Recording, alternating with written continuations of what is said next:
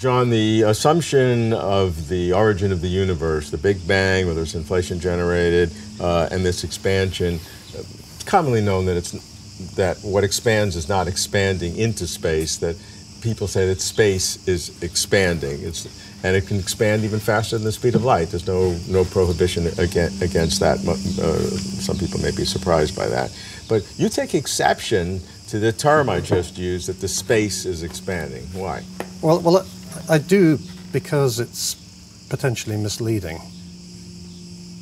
At one level, it's a correct statement. So the universe is expanding. At some level, it's getting bigger, and you know, we don't have a prop here, but you know, you, you, know the demonstration. You take a balloon, you blow it up, right, right. and you put dots on the surface of the mm-hmm. balloon, and those dots are the galaxies. You blow the balloon up, the dots get further, further apart. So the universe gets bigger with time. There's more space. So it's natural for people to say, oh well, so actually the galaxies aren't really moving apart. It's just you know they're sitting there. It's just the space between them is getting bigger. Right, right. And the, the difficulty I have with that is it gives people really the wrong physical picture. So, the, the, here's an example. There's a galaxy moving away from you because the space between us is expanding. Suppose you grab that galaxy, okay, just kill its velocity, and now you let it go. Expanding space, right? Obviously, it'll start going it'll again. Start going again. Right. And so the picture is that there's like some kind of friction. You'll find a beautiful, beautifully made but completely wrong video on the web of a rug that's kind of stretching. Yeah. Right, and of course the stretching rug causes friction. So there's a picture of a man with a cat, and he lets the cat go, and the rug just takes the cat off the leash, and they separate. But that wouldn't actually happen because locally, space, you know, it, everything that we do in cosmology is built on the tenets of, of general relativity. And general relativity is built on the equivalence principle that you see every day in astronauts. A freely falling observer experiences around them special relativity. The space-time of special relativity doesn't expand, it's a nonsense. So there can be no locally observable effect due to the expansion of space. Okay, people often ask, you know, why, why doesn't the expanding universe try and tear the Earth away from the sun? The answer is there's no force, no kind of frictional force of expanding space that would ever cause it to do that. So if you wanted to understand how this goes wrong in the analogy with the balloon, think about, well, actually, you don't need to think about, think about a big balloon that becomes a flat surface like this, this rug. Mm. So you're standing on this rug and it becomes stretched and your feet start to go apart. But suppose the rug now was a perfectly frictionless surface. Right, so you're not standing on a rug, you're standing on a sheet of ice. Mm. The ice goes sideways or comes in. Could you tell the difference? Uh, Is there any observation you could make that would that would give you an effect that was due to expanding space? The answer is no. So locally, the detection of space, the expansion of space, is undetectable, which means physically it's meaningless in some sense.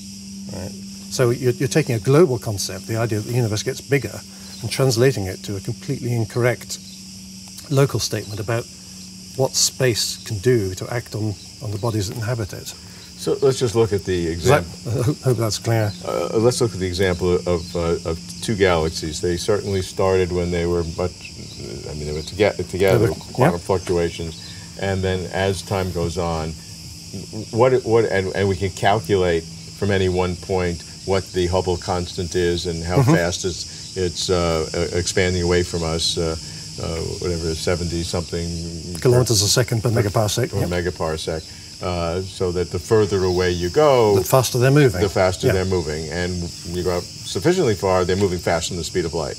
Yes. And the re- and the reason they're doing that is because space is expanding. Well, space. I put it the other way around. I mean, space time, the structure of space time, is dictated by its matter content. Yes, yes. yes. So the fact that the galaxies are expanding is what changes the curvature of space-time right. overall. Okay. Okay. But locally, it's just particles of mass moving apart. You know, just just like you driving your car. You know, you don't think your car is getting further away from, from town because space between you and right. the town is, is expanding. So take take two galaxies, our galaxy and another galaxy. Uh, take our galaxy and, and, two other galaxies. One of the other galaxies is part of our local group, mm-hmm. which means there's some gravitational attraction significant between us, and another galaxy outside our local group that does not have the gravitational uh, attraction to us. And then go a trillion years in the future, yeah. whatever you need. Explain the differences mm-hmm. uh, between our, our, galaxy's relationship to those other two. Sure. Um, and the short answer is that the nearby galaxy is gravitationally bound to us. Um, the, more distant one is, is not bound. But you still have the. But, but it could. Well, can we do this one at a time? All right. So here's the Milky Way. Yeah. Here's a galaxy, and it could be local to us or a more distant one. Let's do them one at a time. Okay. So, as nature has it at the moment, let's say it's far enough away, it's, it's receding from us, as almost all galaxies are. Right. Let's, as we said, put a chain on, instantaneously stop that. So now it's, it's stationary, all its friends are, are moving out, yeah, yeah. going to expanding space. What's going to happen to it? Right. Well, that, what happens depends on what's in the universe. So let's go back sometime to the point where it was dominated by the energy density of normal matter. So the vacuum density was negligible.